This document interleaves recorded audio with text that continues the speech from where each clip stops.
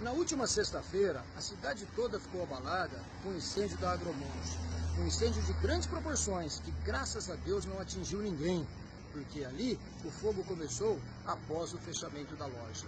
Só que aqui onde eu estou, funciona o plantão da Polícia Civil, num prédio antigo, já condenado, com fiação exposta e que também está sujeito a um incêndio. Se isso acontecer aqui, as consequências poderão ser muito piores. Poderemos ter policiais mortos, poderemos ter a morte de munícipes que procuram a Polícia Civil diariamente, ou de pessoas presas. Então, para evitar essa tragédia, a direção local da Polícia Civil, através do Dr. João Pedro, já está fazendo gestões junto ao governo do Estado para que um prédio novo seja construído aqui, de modo que possam ser instaladas também outras delegacias, formando-se assim a Central de Polícia Judiciária.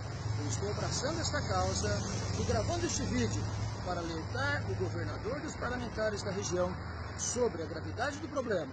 Algo precisa ser feito antes que o pior aconteça.